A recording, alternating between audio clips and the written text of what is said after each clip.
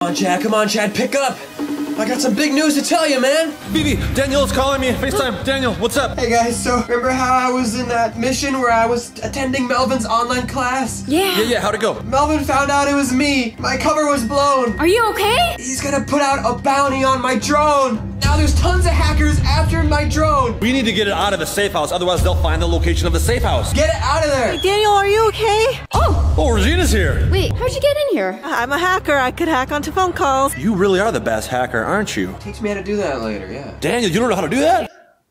I mean, But guys, guess what I found out? The hackers, they've been ordered to find Perlita and bring her back to the Project Zorgo leader. I still have Perlita's outfit. I can go undercover, contact the leader, find out all the juicy secrets we need to know. Great idea, because you're the master of disguise, Regina. Oh, yeah. Lisa, ain't tell me anything I want to know about my past, about Perlita's past. That is correct.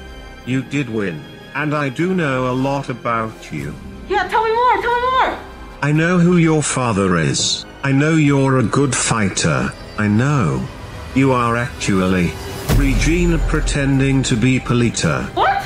And I know that I've been tracking your IP address this whole time. I have sent hackers to your exact location. Oh gosh!